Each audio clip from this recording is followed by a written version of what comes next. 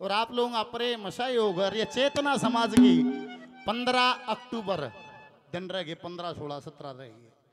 कोसड़ी आज ही सारे, मेरा बल बढ़ जाएगा। नई पाठशाला की शुरुआत कोसड़ी में कर रहे हैं पंद्रह तारीख को। सारे आना विद फैमिली, सब परिवार, तुम भी आज हो सारी डाठा मार मार, सारी आज मैं ढोल बजवा दूँगा। तुम आओगी नहीं नाचता पाऊँगा तुमने। किता किता पा धरूँगा ले थारे स्वागत में बाजा बाजा पाऊँगा। बोल विष्णु भगवान की। नई पाठशाला की शुरुआत होगी सत्संग।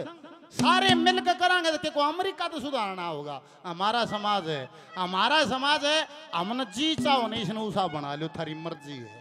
इना अच्छा बना लो चाहे भूडा बना लो और सारे साथी मिल के कोशिश करेंगे थोड़े दिन में हम अपने समाज को सुंदर कर लेंगे कोई संदेह नहीं है। निवला जी चर्चा करिए चार में। सत्संग करते दो भजन करे नर एकला फिर हरी करे सो। निवला जी के है चर्चा। चर्चा करिए, चार में। चार से भाव है, अपने सर्कल में, अपने समाज में, अपने भाईचारे में। चर्चा क्या की? चर्चा होती है शास्त्र की चर्चा, धर्म की चर्चा, सत्संग की चर्चा, या फिर ऐसी चर्चा। मान ले मर फौजी बतलाऊ कि तो फौजी का उसमें जकर हो कि मेरा जकर हो। बतलावा हम, और बतलावा है कि बरा किसकी धोबी बने रही हाँ। किसी दूसरे की बुराई बैठे बैठे उड़ो धोवा सा सह न बात मर्द को फ़ायदा, नुकसान। चर्चा और चुगली में अंतर है। चर्चा हो है या तो चर्चा हो साज्य की, धर्म की, शास्त्र की, अध्यात्म की, अपने समाज की, आपस में बैठ के चर्चा करें। हैं लोग यह चर्चा, एक है चुगली। उसमें तेरा रोल न मेरा रोल। अब किसका जकर? अब मंडेरे उड़े। ये करें जुगर चुगली।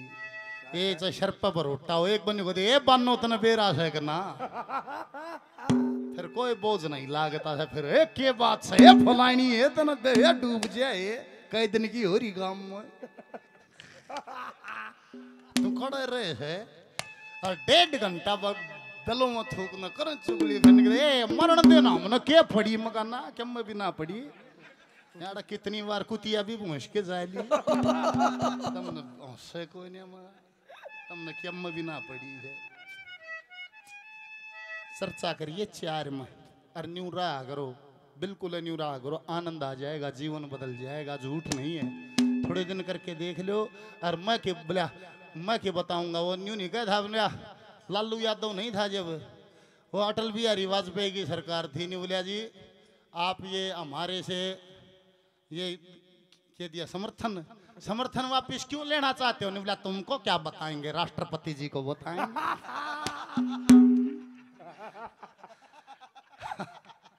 तो भाई यो काम करने लाग जाओ, हम क्या बताएँगे? अपने मुख से बताना बोल, सतगुरुदेव भगवान यो काम करो और अपने मुँह तो बताओ। हाँ भाई, क्या मैं बदलिया कि नहीं बदलिया? बिल्कुल अज्ञानता में जीवन खू जाता है।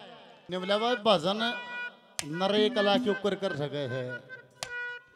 कितना फौजी एक बार तो था मैंने। फौजी तो भी चर्चा हो रही थी निबला देख!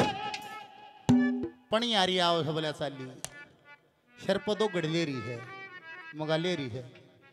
निबला हाथ में बाल्टी ले रही है माँ ले रही है।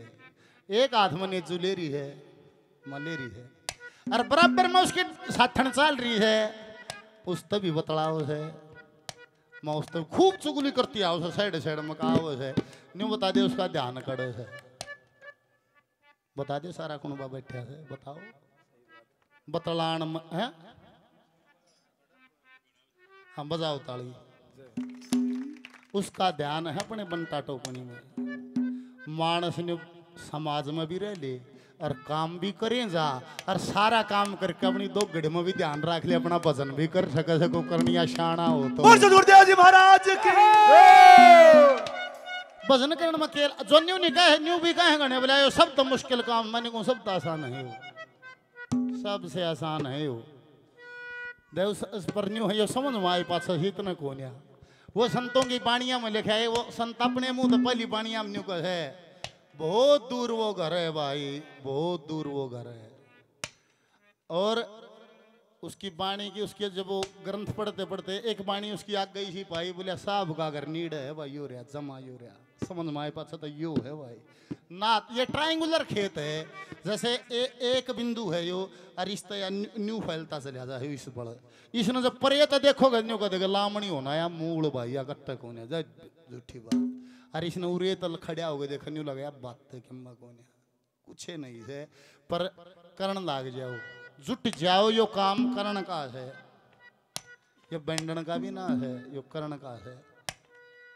आज तो जुट जाओ बताए भजन तो सांस गए लो, है, हर सांस से करना है। क्या भी करें, जाओ सांस तो लो एगे या तो एक स्वाभाविक क्रिया, सांस तो आओगा, सांस पे जाप ने बैठा लो पक्का ही बैठा लो। यो है जप्पा जाप जिस दिन पक्का हो जाएगा और गूंज बन जाएगी गूंज में इतना आनंद है भीतर एक न्यारी दुनिया है उस तो लकड़ने जी नहीं करेगा चाहे को गाड़ दिए जाओ चाहे को भूसिए जाओ चाहे शाबाशी दिए जाओ कोई फ़र्क नहीं पड़ता है। बोल सतगुरुदेव भगवान। हो! अरे भाई कोई भी दुनिया में ज़िंदगी में सीधा दुश्मनी का नाता नहीं बनाता है कोई भी। पहले तो दोस्त ही बनता है। दोस्त में दुश्मन छिपया है। और ना सीधा दुश्मन कौन बनाओ? छुट्टी बोलता कौन सा? आ जाओ भाई। दुश्मन सीधा कोई नहीं बनाता। थोड़े बना करो घर से छोटो, पक्को, थोड़ा सर्कल हो, छोटा सर्कल हो, मज़बूत हो, के तो खुद कर लो। और ना तो फिर राम के नाम ले लो, परमात्मा आप कर देगा। न्यूगला रह दूँगा गबला घबरा ना कर। माजी के बात एक जगह है? बंकनाल जैसे तो मोटे मोटे अक्षर है। हैवी हैवी पर जो सत्संग की चर्चाएँ हैं, वो मैं ज़रूर करूँगा।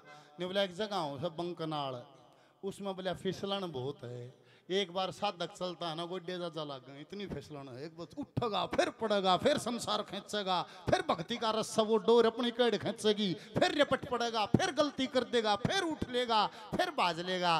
नहीं बोला वह पार करनी कठिन हो जाए उस तक पार हो जाए नहीं, फिर बोला कि मैं शांति बन जाए और बोलिया जब वो, वे कमल कुमलांगा दोहरा पहुँच से नहीं, बोले, आगे न उड़ा पराबुद्धि काम करने लग गया है माँ जी, पराबुद्धि के हो से नहीं, बोला, दूसरे की बुद्धि। तुम सोचना सोचना होता है, साधक को करनिया को और आ जाएगा। आप कर देगा, सारी फील्डिंग लगी पाओगी। अरे नहीं, बोला जब सत्संग की तरफ़, सतपुरुष की तरफ़, सतलोक की तरफ़ मुँह करे है नहीं, उस टाइम परमात्मा छाल नहीं लाओ समाज है क्या की?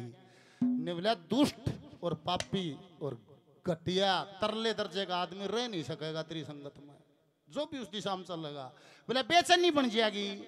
अरे यहाँ यहाँ यहाँ करके भाज लेगा। यो के बेरनी के कैसे यो के कैसे भाज लेगा। केवल सच्चा सात्विक सत्संगी आदमी उस आदमी से जुड़ेगा चाहे हज़ार किलोमीटर दूर हो वो आके मिल जाएगा। और इसी छाल नहीं ला देगा कबाड़ बाहर। बोल बोल महाराज की। दादा ने कहा लक्ष्मी चंद्र अगर राम, जब जानेगा जगत तमाम कमाई करने की ज़रूरत को नहीं एक न्यारी शक्ति है, न्यारी ताकत है। घना पढ़िया लिखा भाई, करे बिना क्यों करे होगा? करे बिना भी हो जाए भाई। भगवान कसम खा के कहूँ आप आप भी हो है। पर बसरते की खूंटे के ठीक बंद रहे हो, अपने ठिकाना हो। उस ईश्वर के करीब हो। अरे वो है सर्वशक्तिमान, हम सब उसकी संतान, फिर भी इतना परेशान है इंसान क्यों? या तो उसका अपना पिता नहीं मान रहा, अपने आप को उसकी संतान नहीं मान रहा। और जब मैं उसकी संतान हूँ, मेरा पिता इतना शक्तिशाली है, जो सारे ब्रह्मांड का मालिक है, फिर मैंने भय के है। क्या का खतरा है मैंने? जब मेरा पिता वो है, मैं एक इतने बड़े बाप का बेटा हूँ, मेरे ये थोड़े जो थोड़े रुपये जोड़ रहे हैं पी के, ये है ना डरते। एम एल एम पी का छोरा वे ना डरते, क्या इधर फिर उससे नाता जो संबंध हो जाता है, उसने क्या कहा भय है डर नहीं लागता, मैं सत्संग की खासियत ये है पहली, आप ईश्वर की दिशा में चलो, पहले आपको वो, आपका भय खत्म, आप निडर हो जाओगे, क्यों? सब तो फालतू बड्डा डर है मानस न मरण का। सत्संग का बोध हो जाए, जब बेरा लग जाए, मरना मरना कुछ है ना यारे चक्कर काटना है बार बार या को बातें को ना काल नहीं तो आज कद्दे हो जाओ। इसमें रोड़ा जाके कोई इसी, बोला भाई, उसने भूंडा कर यार, उसने को उबला के मार दिया, मारना के मरना तो सही एक दिन। है कल नहीं तो आज वहाँ सत्संग पहली चीज़ है, निर्भय कर देता है, डर क्या का है? कोई भी आओ, आड़े हूँ मैं कितने गया हूँ। कोई भय नहीं है। मैं परसों चले गया, बाबा रविपुरी जी के पास। गुड़गावा। अच्छा बाबा जी धोने बैठे थे मसला गाने वाला रे, यहाँ आ जा। न्यू बैठा लिया पोनू, न्यू बैठा लिया। बाबा जी खुद उठ के गए। ये आओ नहीं पौवे है, पानी के। चार पौवे लिया बाबा पानी के। देखो उसका लिया के न्यूला रे, ले। पानी पी, और फिर सारी बात बता। पानी पी के, बोले, पाठशाला कैसी चल रही है? माँ जी, बहुत बढ़िया चल रही है। सत्संग भी और बोला भंडारा, माँ जी, भंडारा भी। और माँ जी उमरात गाँव में प्रोग्राम होया था, खूब लाड करया, सारी बताई मैंने। और माँ जी, नई पाठशाला की शुरुआत कर रहे हैं कोसले में। मका पंद्रह अक्टूबर को कोसले आ जाना, हमारा बल बढ़ जाएगा। ने बोला, अरे आऊँगा, पर कौशली नहीं आऊँगा। मगा और ने बोला पहले उमरावत आऊँगा फिर कौशली में आऊँगा। बोल सतगुरुदेव भगवान बोला सर्दी में अभी मेरी तबीयत थोड़ी ढीली है। सर्दी में पहले उमरावत वाली पाठशाला में आऊँगा उसके बाद वहाँ आऊँगा। हमारा लेख नहीं गए सतयुग में हमारी उम्र थी एक लाख साल की। हमारा लेख कहता है सतयुग में उम्र एक लाख साल आदमी का कद बत्तीस फुट का। बीस विश्व धर्म। और रतन में मुद्रा। और सतयुग का तीर्थ। पुष्कर जी, फिर आ गया त्रेता युग। क्यों थी बत्तीस फुट की हाइट? सृष्टि की शुरुआत। पाँच तत्व, तीन गुणों से सारा सब कुछ रचा है, शरीर भी रचा। सब कुछ शुद्ध था। तो मनुष्य स्वस्थ था, सारी वनस्पति शुद्ध थी, सब क्यों सही था। पाँचों गुण शुद्ध थे। तो मनुष्य की हाइट बत्तीस फुट रूपवान गुणवान बलवान आयु, बड़ी, निरोग, शरीर, सब। फिर हमने पाँचों तत्वों के गुणों को घटा दिया। त्रेता आते हमारी हाइट रहेगी बाईस फुट। उम्र होगी दस हज़ार वर्ष। और त्रेता युग का तीर्थ होया नेमी सारण। फिर इन पाँचों तत्वों को और घटा दिया मानस ने। फिर आ गया द्वापर। उम्र होगी एक हज़ार साल। कद हो गया ग्यारह फुट। पाप हो गया दस विश्व धर्म, दस विश्व पाप। और चांदी की होगी मुद्रा। और द्वापर का तीर्थ हुआ कुरुक्षेत्र। ये फिर बढ़ा गिरे, वनस्पति, पहाड़, समजल, सब जहरीला कर गिरा, और घटा दिया। फिर आ गया कलयुग। उम्र रहेगी सौ साल। कद रह गया? साढ़े पाँच फुट। और लोहे की होगी, मुद्रा मिट्टी के होगे बर्तन। और कलयुग का तीर्थ है श्री गंगा जी। ये पाँचों तत्व जितने शुद्ध होंगे पृथ्वी जल आकाश, वायु, अग्नि, क्योंकि इन पाँच तत्वों से मनुष्य बने है, उतना ही रूपवान, गुणवान, बलवान और आयु उतनी होगी। जितने पाँचों तत्वों को हम बेकार, खराब करते जाएँगे, कद भी घट जाएगा, रूप भी घट जाएगा, आपका आयु भी घट जाएगी, ताकत सब घट जाएगा। ये इसके अनुसार चलता है। न्यू कहे, सौ साल तक बत्ती उम्र थी, लेख कैसे जब उत्तान पात के दूसरे ब्याह की तैयारी थी। और महाभारत का युद्ध था जो सौ सौ साल के थे, लड़े थे भीम अरे सौ सौ साल के, सवा सौ सवा सौ साल के तो हाथियान पकड़ पकड़ बगाऊं थे ये तक बावन के गेला डूगर के खा जा समझ हो बोले बथेरा हो गया। हाँ सारे दांत जाड़ टूट नहीं थी, बोले बूढ़ा हो रहा था। मौज से बोले, के कमी से किरावा वो किरावा वो न्यारा। बड़कन मौज से कोई कमी ना।